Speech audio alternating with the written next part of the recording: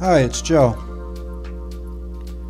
Just want to do a quick recap review of the 172nd Spitfire I did by Airfix. It's finally done, and I can say that I really enjoyed building this kit. This is the second Spitfire that I've built. The other one was also 172nd scale and was also an Airfix, but it was a much older kit from the 80s, I believe 1983. And actually, even though it's been that amount of time in between the two that I did, they were both very similar to the way that they came together. Uh, this one did fit a little bit better than that one. I remember having to use a lot of different techniques to finish that one than this one, but this one still took a little bit of work. And that's not necessarily a bad thing. What drew me to this kit was the fact that it has these white and black undersides to it and I just think that that's really cool and very unique and it's something that the Spitfires had on them from for identification from the ground. Um, they used to have ground observation crews, I guess, that would identify airplanes, and that was one of the ways that they could tell they were British, from what I understand. And I just thought that was very cool. So I only spent about six or seven dollars on this after using a 40% off coupon at Hobby Lobby. So the amount of time that I got out of it, the hours put in um, versus the amount of money, very good value. So as far as putting the kit together, I didn't have too many problems. The cockpit was a little bit fiddly. I did have to remove some of the contact points on the fuselage when I was putting the two halves together to make it fit correctly. So I just kind of used my my knife to cut off the the contact point and I was able to get it on after a little bit of work. wasn't wasn't that big of a deal. Um, but the wing roots also, I had to use a little bit of force to get those in. Not too bad, but there were a couple times where I thought I was applying maybe a little bit too much, and you know I was possibly gonna maybe have the fuselage come unhinged because the two wings were kind of like pressing against it pretty decently. So I also had to use some filler and putty for this. But I was able to get it and it wasn't too bad.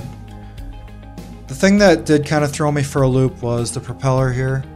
And the propeller I waited until later on in the build to put on. The instructions called to put this in when you're putting the two halves together.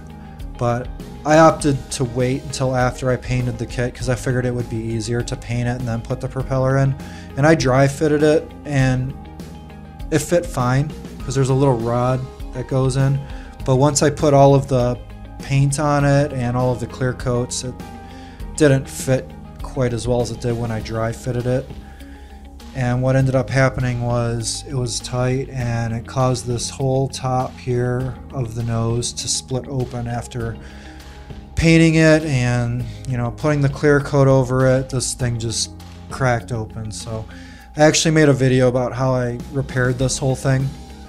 So I basically used some lacquer thinner to take off all the paint. I just restarted from scratch and put the the paint back on it, but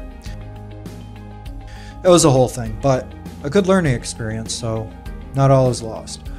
Also, I waited to put the, the glass canopy on after I painted, which, you know, if I was airbrushing this, I would have put this on beforehand, before painting it, and I would have masked it, and I would have like used filler to make, you know, if there was any gaps, but I waited till late to put this on, almost to the very end, and what ended up happening was it wasn't a good fit.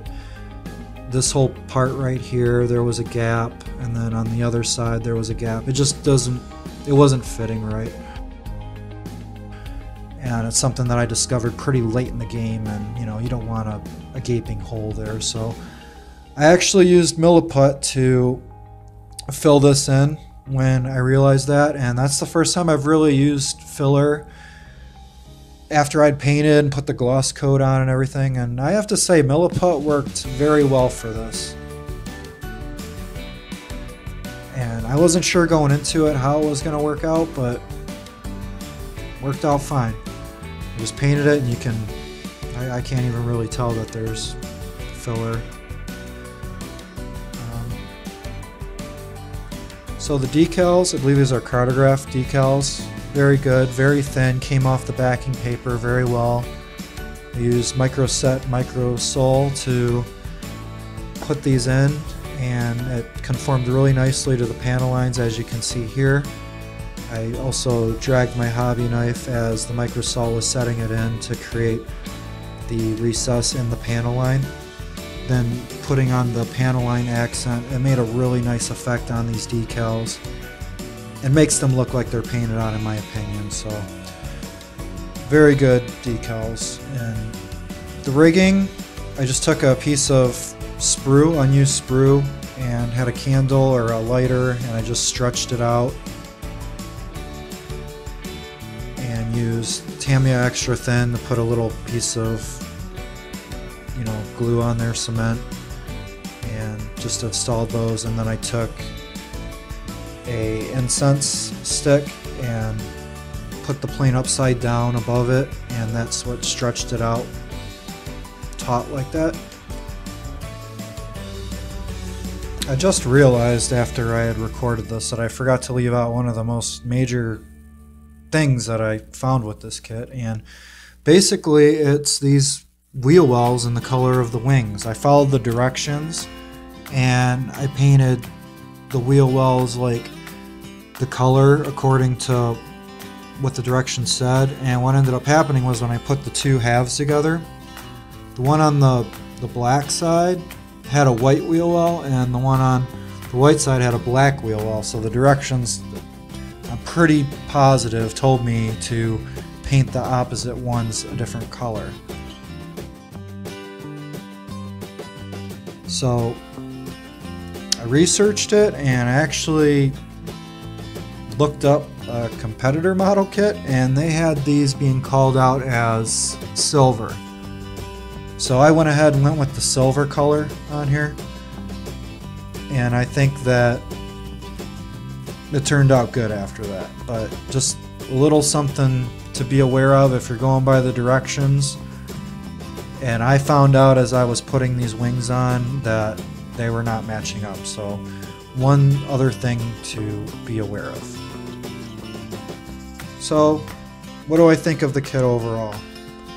Well, I think for the amount of money that you spend, again, probably going to be under $10. It's a good value for the amount of time that you're going to do. Do I recommend this to an absolute beginner? I probably wouldn't recommend it to somebody being their first or second kit. But if you have a couple of kits under your belt and you want something where you can kind of hone your skills, get some some experience in sanding or, you know, using putty, that type of thing, I would say this would be a great kit and you will like the finished result once you're done with it.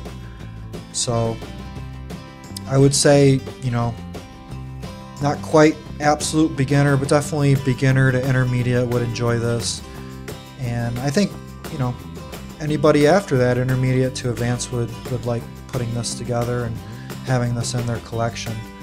So with that, thank you for the review. If you want to know any more information or anything more in depth, I do have some other videos where I have a complete build as well as a step-by-step video or series of videos. So with that, thank you for watching and enjoy your day.